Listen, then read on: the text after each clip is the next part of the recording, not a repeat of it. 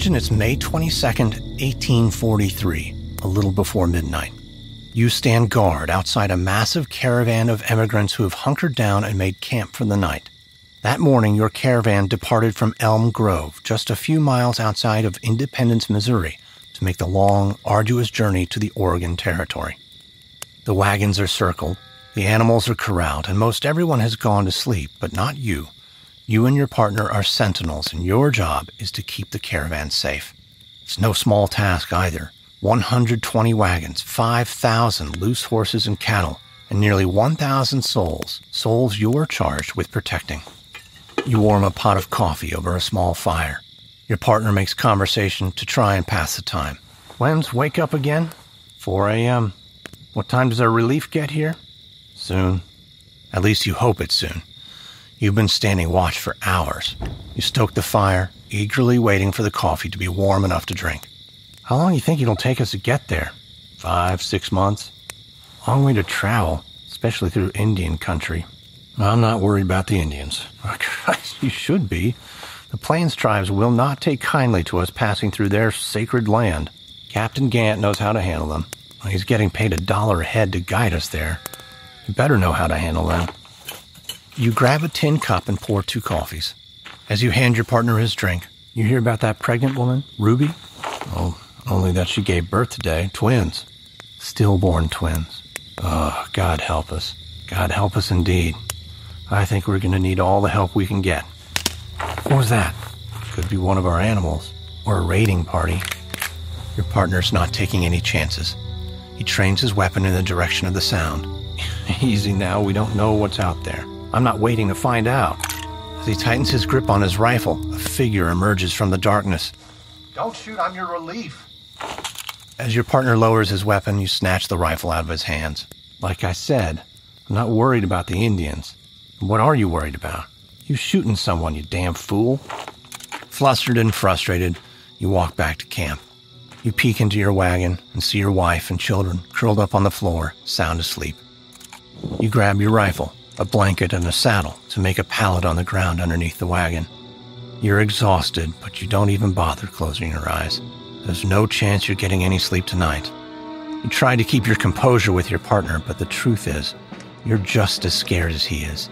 If the Indians don't wreak havoc on the caravan, disease certainly will. Not to mention, it's only a matter of time before you have to ford a treacherous river or weather a deadly storm. It's only the first night of your journey, you have more than a hundred more to go. Hi, I'm Lindsey Graham, host of Wondery's podcast, American Scandal. Our newest series looks at the trial of the Chicago Seven, a case involving protests of the Vietnam War and a legal fight that became a referendum on the soul and future of America. Listen to American Scandal on Amazon Music or wherever you get your podcasts. Since his death in 2009, the world has struggled with how Michael Jackson should be remembered as the king of pop or as a monster. I'm Leon Neyfakh. My new podcast, Think Twice Michael Jackson, offers a new perspective on the art and the artist. Follow Think Twice Michael Jackson on Audible or the Amazon Music app.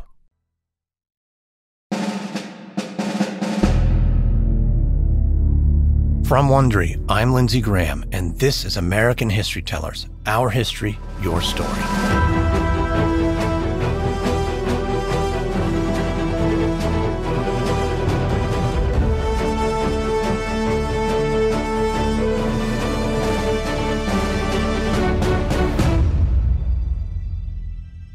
The Great Migration of 1843 began on May 22nd when Captain John Gant, a former Army officer, led nearly 1,000 emigrants westward along the Oregon Trail, 176 years ago today to the day. Many of the emigrants were worried about attacks from Native Americans, but in hindsight, their own human error was the far bigger threat. Drownings, horse accidents, untreated disease, and accidental shootings were responsible for most of the deaths on the Oregon Trail. After five long months, and after traveling over 2,000 miles in brutal conditions, the caravan successfully arrived in Oregon in October of 1843. In the early 1840s, economic anxiety was rampant due to the long lasting recession caused by the Panic of 1837. During this tenuous time, Oregon fever swept over the country, The Oregon Trail captured the imaginations of thousands of Americans who dreamed of moving west and starting anew. From 1843 until the early 1850s, nearly a quarter of a million Americans traveled along the Oregon Trail, the longest voluntary migration in American history. Today, on this special episode of American History Tellers, we're going to talk about Journeys West. For many, the story of American pioneers might seem familiar, but my guest today has rediscovered a powerful chapter in that story. The settlers of the Northwest Territory were significant pioneers in America's westward expansion. But their stories, and those of five trailblazers in particular, are largely unknown. Telling their story in a new book is one of America's greatest history tellers, David McCullough. McCullough has received numerous awards and accolades as a respected author, lecturer, and master of narrative history. His dozen books include two Pulitzer Prize winning biographies, Truman and John Adams, and he's a recognizable voice on public television and in documentaries. He's also the recipient of the Presidential Medal of Freedom, our nation's highest civilian honor. His new book is called The Pioneers, the heroic story of the settlers who brought the American ideal west. McCullough joined me to talk about the making of the book and where American history fits into our lives today. Here's our conversation. David McCullough, what an honor it is to have you with us here today. Thank you, sir. My pleasure. You have an illustrious career writing about American history. You've twice won the Pulitzer and twice the National Book Award, tackling diverse subjects, but, but each seated firmly in American history. Before we get to your new book, The Pioneers, I wanted to ask what is it that has drawn you to the history of our country in particular for so many years? I've been drawn to American history with increasing power, if, if you will, because of the story of who we are and how we became what we are. And it's a story filled with essential lessons about life and about our place in life as communities and as citizens who, who have had the blessing of the American opportunity. And because the stories are powerful in the extreme. The reason they're powerful is because history is not just about quotations and statistics and memorizing this or that. History is about people. History is human. What, what what's remarkable to me is, uh, as you just said, that history is human and always a story. But your works have never been out of print. That the story is foremost and very compelling. And I was wondering, what are the tools that you find to make nonfiction in history so irresistible to read? It's only irresistible if you're able to, to be in the life of the protagonists. In other words, to know them, uh, to know them as human beings, fellow human beings, and to uh, know the time in which they lived. But they didn't live in the past. They, they lived in, in the present, just as we do, only it was their present, not ours. And it's a mistake to assume that their present, their time, was just like ours because it wasn't. So you have to have the know the, the time as well as the individuals, and you have to know the place. I um I started out I wanted to be a, a, a writer. I wanted to be a novelist or a playwright, and I learned early on from the advice of a number of superb writers and teachers and accomplished advisors on, on writing that you have to go where things happen you have to soak up that environment. You have to smell the coal in the air at night, or the the uh, look at the horizon, uh, whether it's uh, mountains or sea or wherever it is. So that in learning about the life, uh, writing about the life of someone like Harry Truman, you have to go and spend a good deal of time in Independence, Missouri. Or if you want to write about uh, someone like the Wright brothers, you have to realize how it was that they grew up and who were their teachers. Very, very important. And what did those teachers teach them? And their teachers are very often some of the most influential people in their lives. And very often, of course, it's also their parents. The, uh, the influence of the father, the Wright brothers, for example, on them and what makes a good life, what their purpose in life should be, uh, is uplifting in the extreme. We all we can all learn from those same people they learned from. Well, talking about knowing about a, a place, there's probably very few consequential places, as consequential places in American history as the Northwest Territories.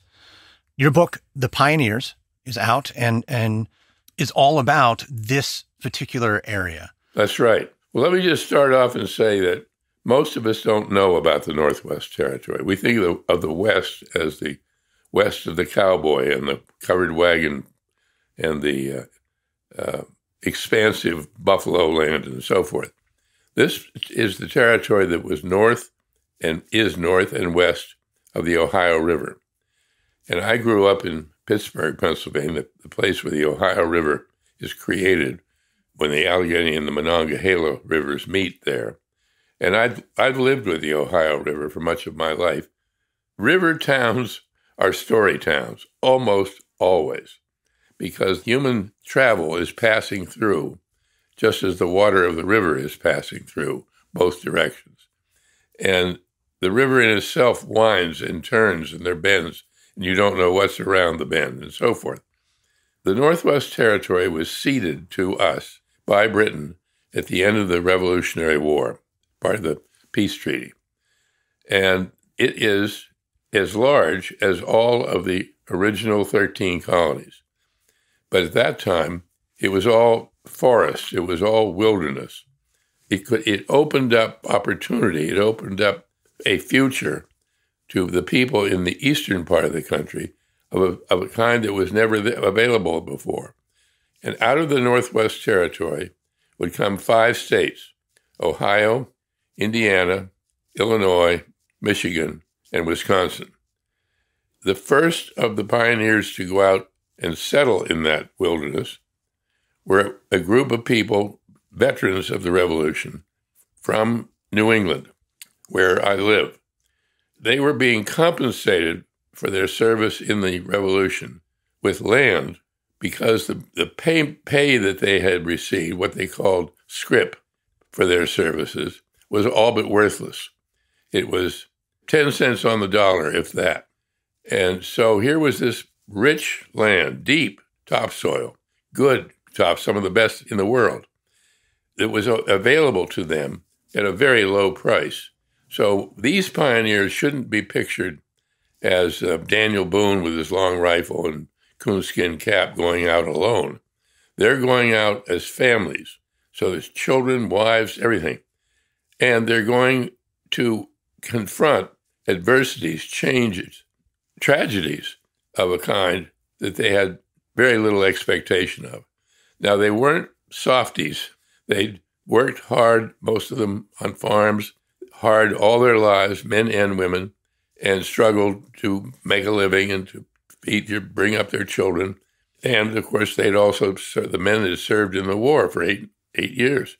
Even so, they confronted problems of a kind that they had never known before storms, floods, an earthquake, epidemic disease, and of course, there was the problem of how to deal with the natives.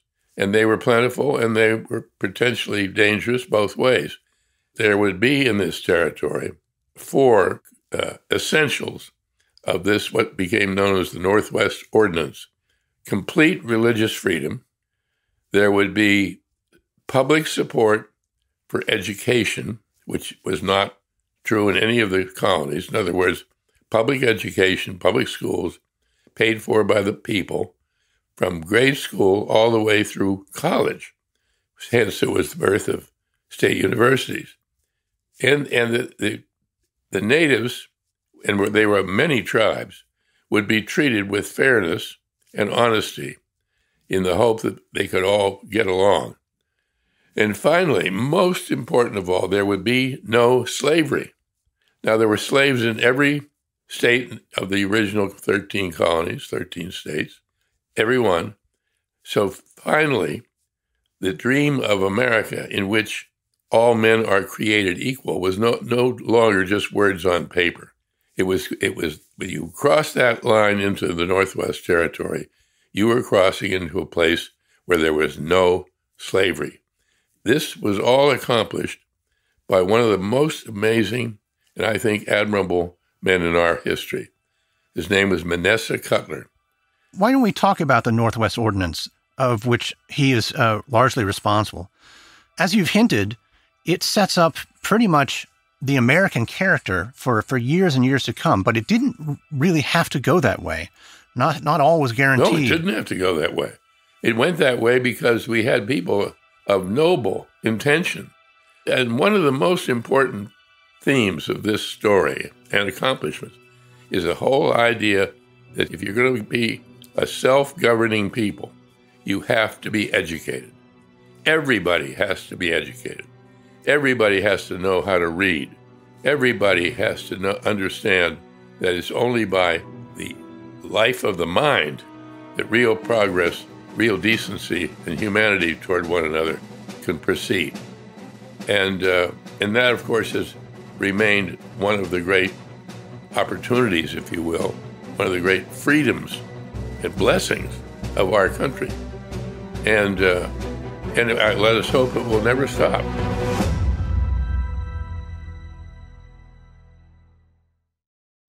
Hello there, I'm Paul Giamatti. And I'm Stephen Asma. Every week on our podcast, Chinwag, we have a nice freewheeling chat. You like monsters, ghosts, and UFOs?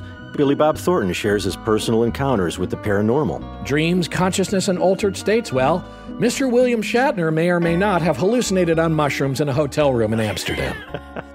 you wonder if we're living in a simulation?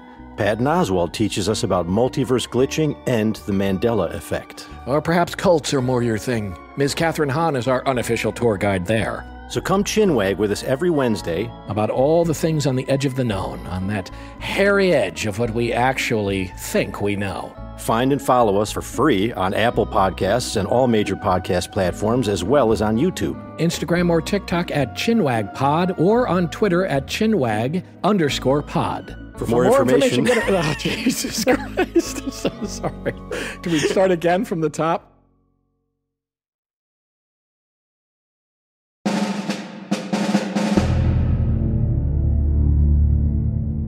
Talk about some of the other main characters that are in the book.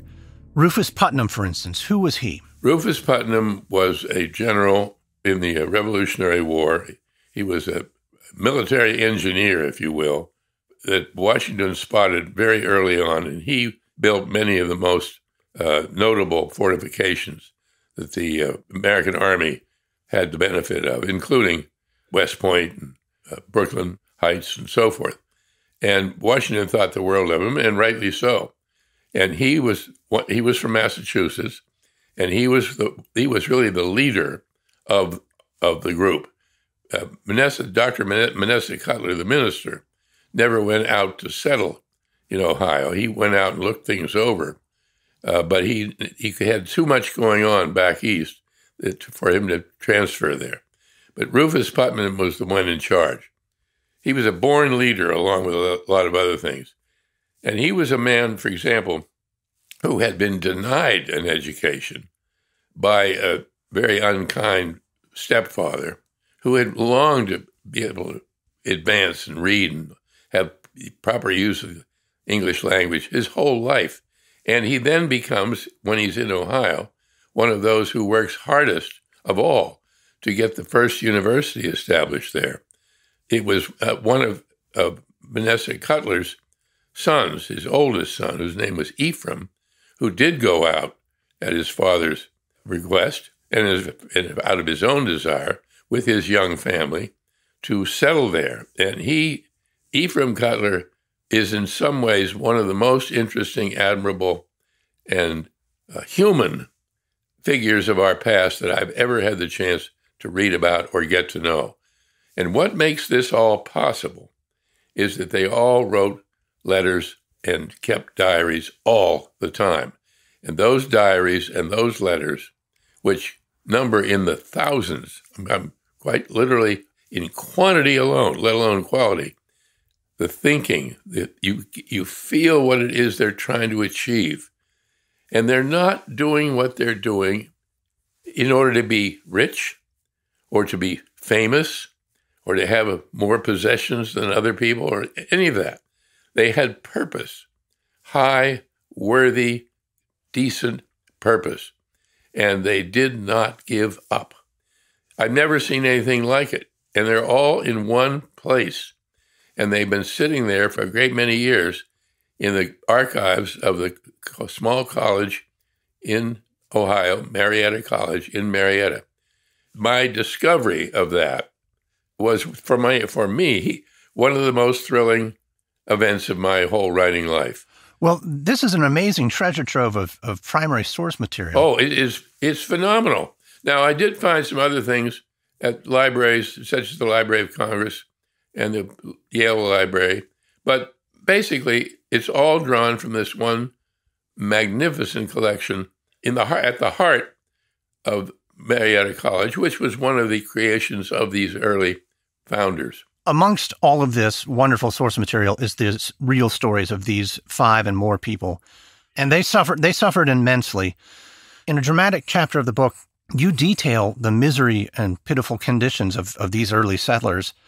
Running low on food, suffered horrible morale, people abandoned camps daily, you included an, in, an entry from Rufus Putnam's letter to George Washington about the conditions in Marietta. Yes. Could you read an excerpt of that for us? Yes, I can.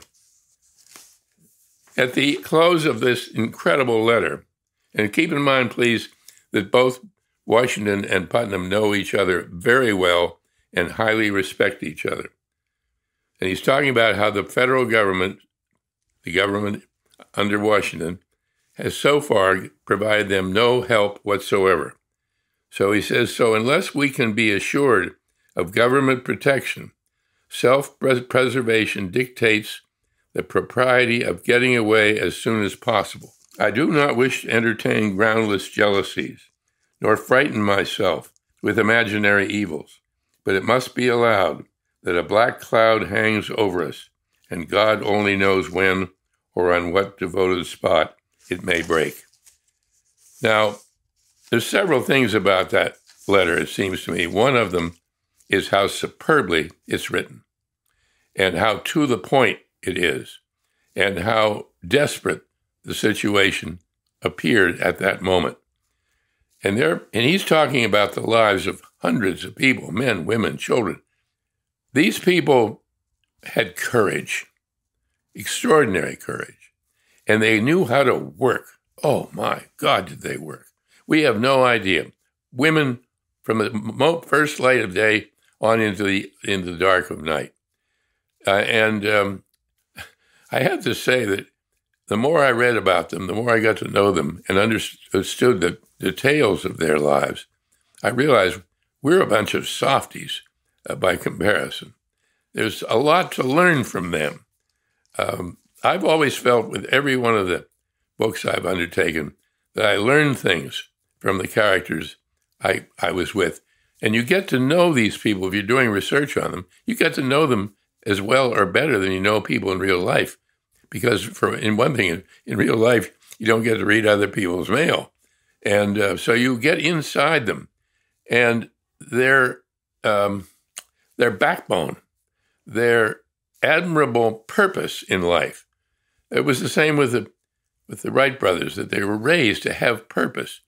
That happiness doesn't come with materialism or fame or money in the bank. Happiness, happiness comes with work you love, with achievement that you're proud of, to be useful.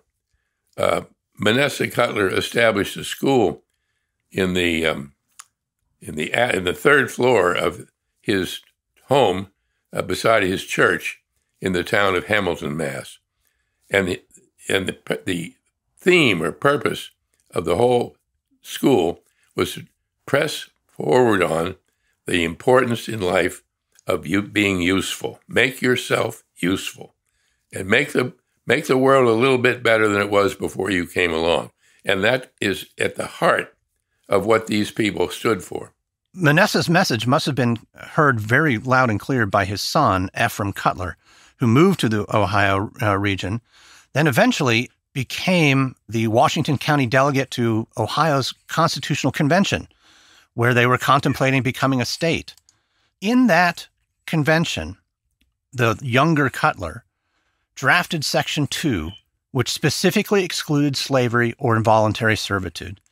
Was wondering if you could talk to me more about his legislative career and his decisions to uphold the Northwest Ordinance's abolitions and ideals. This is, in many ways, my favorite moment in the whole story, and it's incredible. And if a novelist had concocted it, uh, his editor or her editor would have said, "No, no, that that really couldn't possibly have happened." Oh, yes, it did. Ephraim Cutler is at the pioneer capital, if, if you will, of the new Ohio. There was a big movement after Jefferson's election to dispense with the rule of the original ordinance that there would be no slavery and to start admitting slaves into Ohio. And it was very popular with the people who were Jeffersonians. Uh, Ephraim was battling this with all that he had in the legislature, as was Rufus Putnam. And it was, was about to come to a vote, and Ephraim became suddenly very seriously ill, and he couldn't get out of bed. And Rufus Putnam came to him one morning to his room where he was staying and said, You've got to get up. The vote's going to come today, and you have to be there. Several other f- people carried him into the legislature on a stretcher. Uh, I never, never found any solid evidence of that, but one way or another, he did get out of bed and he did go in to vote. And he was like the son of the originator of this no slavery, was carrying his father's banner into the biggest battle ever, and with the most far reaching consequences. And he did it, and his side, block against any slavery ever, won by one vote. I, I, I, cannot overstate the importance of that moment. If Ohio had suddenly been open to slavery, our history would have been changed in ways that's hard, that are hard to calculate. As it was, you, let's remember, the Ohio River had become the gateway to freedom for black people on the slave state side of the river, and of course gave rise to the Underground Railroad, as um, so vividly portrayed in Uncle Tom's Cabin. All the evidence is that Ephraim Cutler was also involved, if ever so secretly, as one had to be. He was involved with the Underground Railroad. In other words, getting black people across the river into freedom. I think Ephraim Cutler, if, if he had stopped serving the causes that he believed in, and on that alone, he would be someone of immense, admirable uh, accomplishment. But he then went on to be the leading figure in creating the university, first university west of the Allegheny Mountains. That university is what happened to draw me into this whole story. I was invited in the year 2004 to come give a speech at the commencement uh, because it, the university was celebrating its 200th anniversary. And I needed to, I was very, uh, very pleased to accept and proud to be included. But at that point, I knew very little about the history of the university, and that's when I began reading it, how it came about. And the oldest building on the campus was called Cutler Hall. And I wondered why was it called Cutler Hall? And that's what made me learn about Manasseh Cutler, the father. Uh, and once I learned about him, I then found out about Ephraim. I found out about the college at Marietta that had wonderful background material on the story. And once I saw that, I realized I was hooked. And happily, happily so. One of the biggest, best strokes of luck in my life.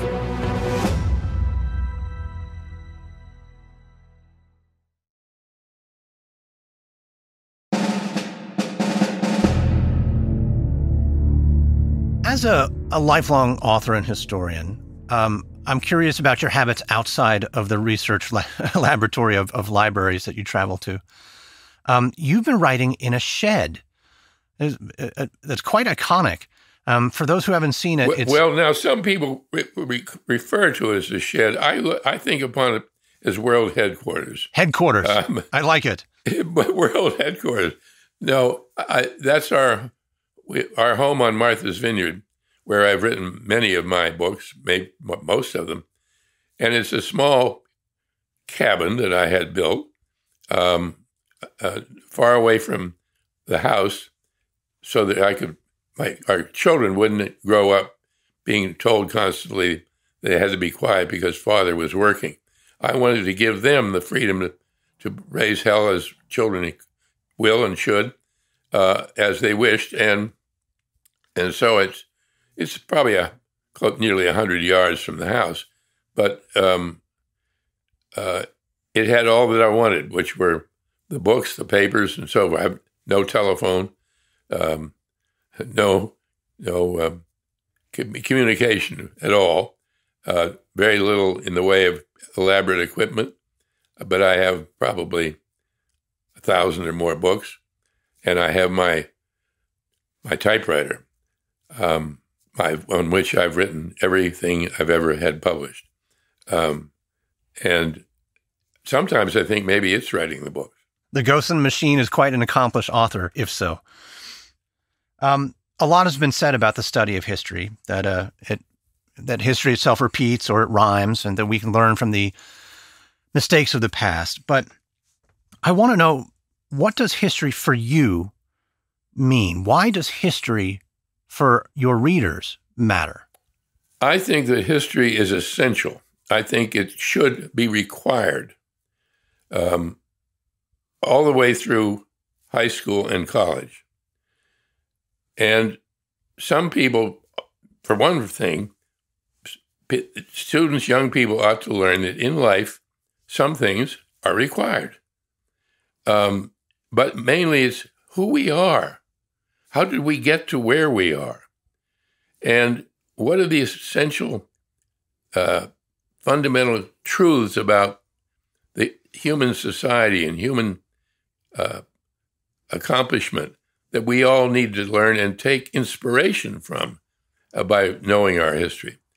But I think also, and this uh, I'm feeling more strongly now than ever, there are two great lessons of history that we all need to be continuously aware of. One is empathy, to put yourself in the other person's place. In order to understand what happened in that other time, we have to be able to put ourselves in their place. Understand how they saw things, understand what they didn't know that we know. And the second quality of immense importance, and I feel so strongly about is gratitude. Gratitude for what they did, gratitude for what they suffered for our benefit. To just take that for granted, to know nothing about it, to care, have no concern or interest in it isn't just uh, to be ignorant, it's to be rude, it's to be unjustly selfish because we owe far more than we, most all of us realize to those people who went before we, we came along. David McCullough, we're so glad you could join us today. It was a real pleasure speaking with you. Well, I'm so glad you questioned me as you did, and it was very reassuring to be interviewed by somebody with insights of the kind that your questions reveal. Thank you so much, and uh, keep up your good work. Thank you. You too, sir. Bye bye. That was my conversation with two time Pulitzer Prize winning author and notable historian David McCullough. Check out his latest book, The Pioneers. We've been asking listeners of American History Tellers to answer this question. If you could be an everyday person at some point in history, which time period would you choose and why? And we've been getting some great responses. Hello, American History Tellers. My name is Todd Madison, and I am an EMT calling from Flint, Michigan. Uh, if I had to go back to, well, if I got to go back to any time in American history, um, of course, there are recent times that I would like to see for myself, but there are people who were uh, reasonable adults at the time who have introspection, who are still alive that I could just talk to about that. So of course, there's only one time left that sticks out to me. That is the age of invention, the 1840s through 1860s. Uh, my mom always said that, uh, has been, has been saying since I was a child that I was just born in the wrong century. And, uh, that's, uh, that's exactly where I belong. Hi, my name is Ellie. I'm calling from Los Angeles, California. And I would choose to live in the 1940s because I'm obsessed with just the culture of the era, uh, the music, the fashion, and also our country seems like it was unified in a way that it hasn't really been before since, and I think that would have been really fascinating to witness. Thank you. Hello, my name is Jordan Hewitt, and I'm a history major, and I live in East Tennessee. Uh, the time period that I would pick would actually be about the 1780s, 1790s. Uh, following Daniel Boone down the Wilderness Road seems like a free lifestyle that uh, I would love to, I'd love to experience and, and wonderful to read about. Have a great day. Thank you. We loved hearing from you, and if you haven't called in, please do. We're at 424 285 0548. Call to tell us which time period you would choose and why. Remember to include your name and where you're calling from. We might play your message on the show. Again, that's 424 285 0548.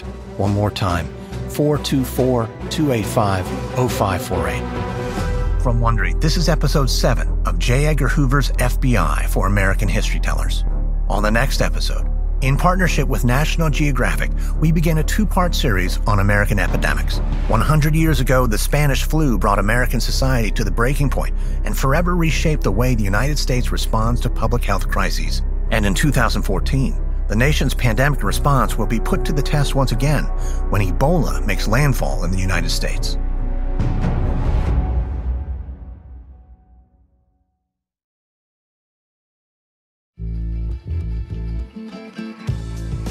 American History Tellers is hosted, edited, and produced by me, Lindsey Graham, for Airship.